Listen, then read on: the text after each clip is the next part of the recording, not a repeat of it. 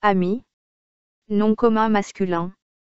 Emprunt au latin chrétien amictus, de sens identique, lui-même du latin classique amictus, qui veut dire manière de se vêtir, mise, participe de amicire, qui veut dire couvrir, voiler, vêtir, revêtir, habiller, envelopper, composé de amb et yassere, qui veut dire jeter, répandre.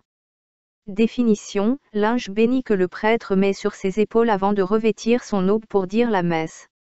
Vocabulaire apparenté par le sens, paramantique.